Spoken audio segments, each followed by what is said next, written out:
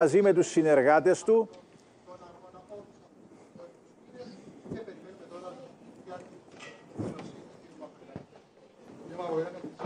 Ναι. Καλησπέρα σε όλες και σε όλους.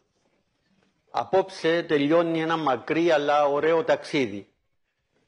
Ένα ταξίδι όπου είχα τη χαρά να γνωρίσω χιλιάδες ανθρώπους, να αντλήσω από τη σοφία τους και να μοιραστώ μαζί τους όνειρα και αγωνίες για τον τόπο μας.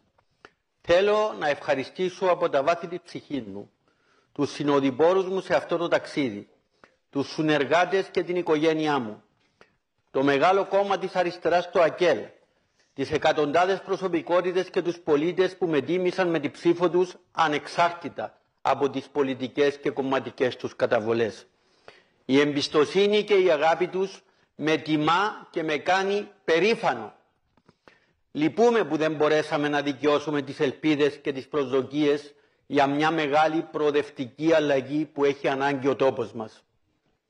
Θέλω να συγχαρώ τον Νίκο Χριστοδουλίδη για την εκλογική του νίκη και να του ευχηθώ καλή δύναμη. Η Κύπρος πάντοτε θα μας ενώνει. Σε ό,τι με αφορά παραμένω ενεργός στον αγώνα για το κοινό καλό και την επανένωση της πατρίδας μας. Ευχαριστώ όλες και όλους.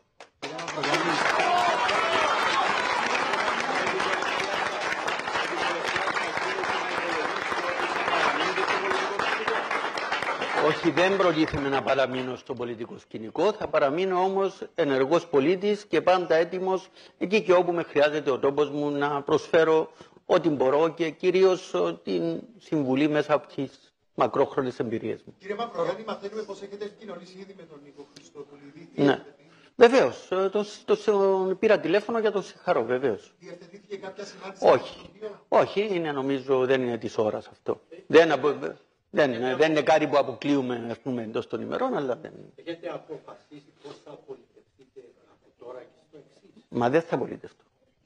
Από τώρα και στο εξής, εγώ θα είμαι ένας ε, ενεργός πολίτης, όπως ε, θα ήθελα να πιστεύω πως είμαστε όλοι μας εδώ. Ένα μεγάλο όμως ποσοστό του Κυπριακού λαού σας ψήφισε για πρόεδρο της Δημοκρατίας. Συνεπώς σας θέλει στην πολιτική. Εσείς λέτε ότι δεν Υπάρχει περίπτωση να ασχοληθείτε ξανά με τα πολιτικά. Όχι, ήταν, αυτό που έγινε είναι ότι ναι, με εμπιστεύτηκε ένα πολύ μεγάλο ποσοστό του κυπριακού λαού. Αυτό, όπως είπα και προηγουμένως, με τιμά και με κάνει περήφανο. Αλλά εγώ δεν θεωρώ ότι ε, αυτοί οι άνθρωποι είναι ε, κάτι πέρα από το ε, άνθρωποι που έχουν ένα επίπεδο, που έχουν αποφασίσει με βάση ε, την καρδιά τους με βάση μια ορθολογική προσέγγιση, με βάση τη σοφία τους και βεβαίως ε, εναπόκειται σε αυτούς υπό τις περιστάσεις να συνεχίσουν να είναι ενεργοί πολίτες και να διαμορφώσουν το μέλλον αυτού του τόπου. Τι θα λέγατε στον νέο πρόεδρο να προσέχει; Να, να προσέχει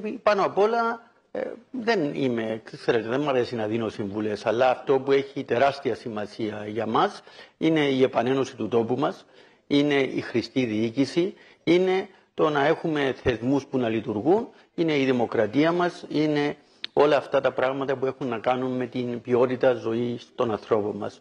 Ο τόπος μας αξίζει περισσότερα, οι άνθρωποι μας αξίζουν ε, πολύ περισσότερα και επίσης πρέπει να σκεφτούμε τις νεότερες γενιές και πώς διαμορφώνουμε το αύριο και τις προοπτικές για το μέλλον. Αν ο πρόεδρος της Δημοκρατίας θα ζητήσει να παραμείνετε στη διαπραγματευτική ομάδα θα δεχτείτε κάποια τέτοια πρόταση; Δεν, κοιτάξτε, δεν θέλω να αποκλείσω τίποτε. Δεν είναι αυτή η δική μου προσέγγιση. Εγώ αυτό που έχω πει είναι ότι αν υπάρξει ανάγκη να συμβουλεύσω σε θέματα που αφορούν την επανένωση του τόπου μας, θα είμαι πάντα έτοιμος. Δεν θα ήθελα να έχω ενεργότερο καθημερινό ρόλο, ας το πούμε. Κύριε Μαυρογιάννη, τελείωσαν οι εκλογές μετά από τόσους μήνες έντονου προεκλογικού. Πού θα σας βρει μέρα αύριο; Στο σπίτι μου. όπως είχα πει, όπως είχα πει, όπως είχα πει στο σπίτι μου, ναι, ε, πρέπει τώρα να μαζέψουμε τα όσα έχουμε από εδώ και από εκεί και βεβαίως ξεκούραση όσο γίνεται ξεκούραση και μην ξεχνάτε ότι έχω μια τεράστια αποστολή να επιτελέσω που είναι στην Επιτροπή διεθνού Διεθνούς Δικαίου των Ηνωμένων Εθνών. Είναι ήδη μεγάλη ιστορία.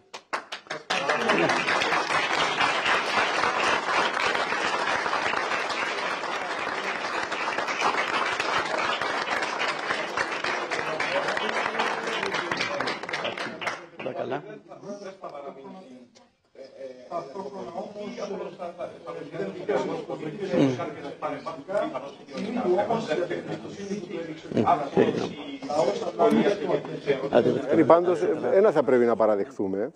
Ό,τι έλεγε προεκλογικά το είπε και